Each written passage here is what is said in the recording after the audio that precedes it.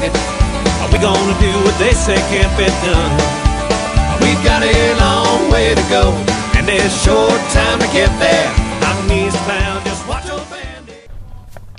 We're in beautiful Kamloops, BC, coming down the, the road here. Peter, Peter Milobar, the mayor of Kamloops, gorgeous town. Peter, tell us a little bit about what's going on here.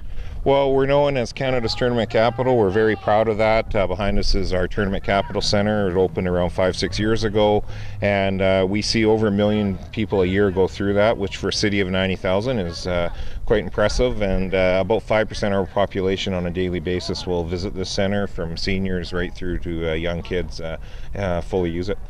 Five percent a day. That's that's remarkable. So, like every city, I'm sure you have some challenges. What are the challenges you're having in uh, Kamloops these days? Well, our biggest challenge is, uh, I think, like a lot of cities, uh, we're faced with, uh, you know, our water pipes, our sewer pipes are getting uh, older, and, and we're starting to struggle with ways to not only rebuild those, but how do you rebuild the road that sits on top of those at the same time? Uh, you know, growing cities are great, uh, but that older serviced areas of our towns are going to need that infrastructure support moving forward, and, and how do we best cover those off is always going to be a challenge. Couldn't help but notice driving in here. This is a nice new section of town. You have no power lines. You have nice new infrastructure, but I guess this too is going to be old one day, so we need to be planning for the future. Well, absolutely. You can only do so much. We're fortunate. We have a, a brand new state-of-the-art uh, membrane water filtration plant. Uh, was around $50 million that we uh, built uh, about uh, 10 years ago, and we're under the commissioning stage right now of a brand new wastewater treatment plant as well. So in terms of the big production plants, uh, we're, we're doing very well. In terms of the pipes that move the product from one of those plants to the other, it's going to be a struggle moving forward, and I think every city will share those same problems. So we like to ask you about a, a, particular success in your community. We're obviously we're standing in one, and you just mentioned two more. So taking those three off your list, what else have you got that uh, you're really proud of of what's going on in Kamloops these days?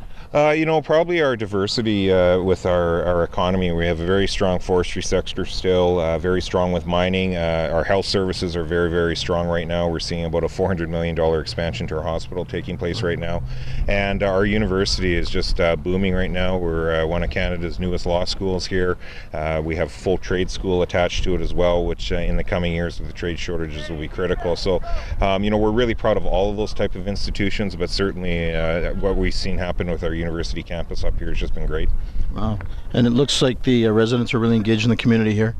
They are. It's uh, it's one of those communities. I think because we're such a, a, a hub and we're a little bit isolated from the next population uh, base. Everyone uh, lives here that works here as well, uh, including the city staff. So very uh, huge community spirit and volunteerism, and and that's really what drives us being able to call ourselves Canada's tournament capital. It's one thing to build the facilities. It's another thing to have enough volunteers to run the events. So uh, we're looking forward to hoping, hosting the Canadian uh, women Olympic team here in November for the Four Nations Cup and and events like that uh, that we attract on a regular basis. Cool. So, Canada's tournament capital. I'll keep saying it. Uh, we're standing actually this facility. Sign behind us here is the BC Lions training camp. So uh, again, great things going on in Kamloops.